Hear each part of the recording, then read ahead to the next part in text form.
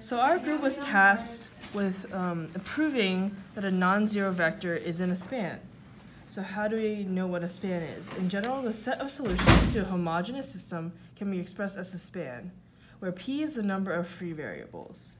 So if there's a vector in a span, that means a re reduced row echelon form uh, creates a system where it would create coefficients that will multiply together to get the original vectors to get the vector that you're looking for. So let's show an example. We want to prove is a 418 in the span of 1, 2, and 2, 6. So our first step is create an augmented matrix. It looks like this.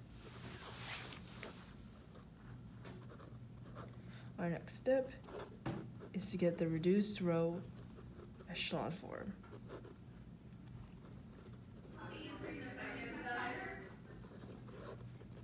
Here.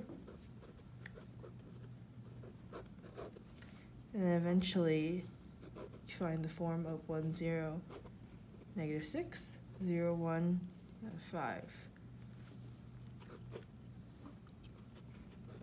And now you have found the coefficients. So to prove that this is truly in the span of these two vectors, we multiply the x1 coefficient with the first vector and add that to the multiplication of the second coefficient with the second vector.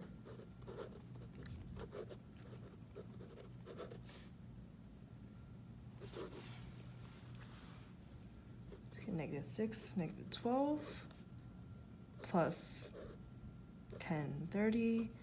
If you know how to do addition, then it becomes 418. Perfectly check